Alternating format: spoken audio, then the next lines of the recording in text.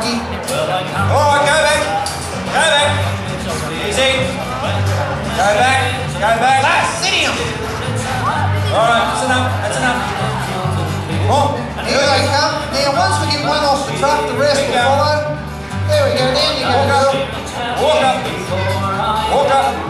You can be honest, Molly. Please, sit. Put this little barking muzzle on Molly too, so she's got one like Sparky, Molly.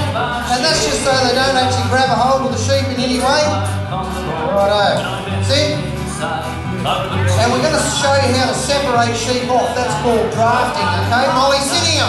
And we use a little set of gates like these ones over here. So close that one. Molly, steady, slowly. Steady.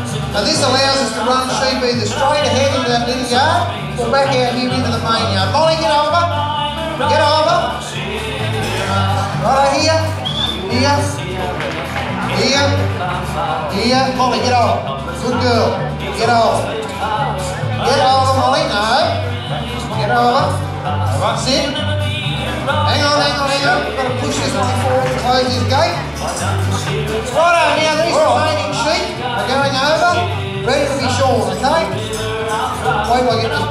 going back. Alright, good. Come here on. Sit in, you, behind. Right, now we're going to walk these ones over and into the little catching pen. Steady, steady, slowly. Bang, sit.